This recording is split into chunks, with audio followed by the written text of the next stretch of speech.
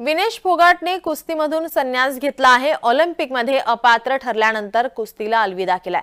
समाज माध्यमावर या संदर्भात विनेश फोगाटने पोस्ट लिहिली आहे आणि माहिती दिली आहे. विनेश फोगाट हिला अपात्र ठरवण्यात आलं.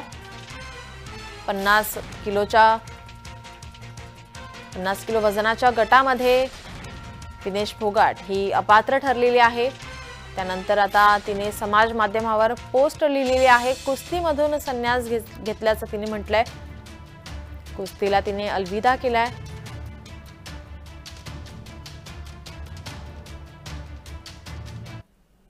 विनेश फोगट हिने नेमकं काय म्हटलंय? पाहूया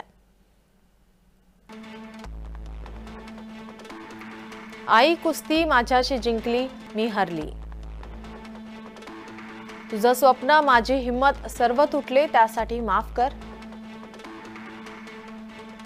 आता माझ्यात जास्त ताकद नाही. अलविदा कुस्ती दोन हजार एक दोन हजार चोवीस. मी आपल्या सर्वांची नेहमीच ऋणी राहील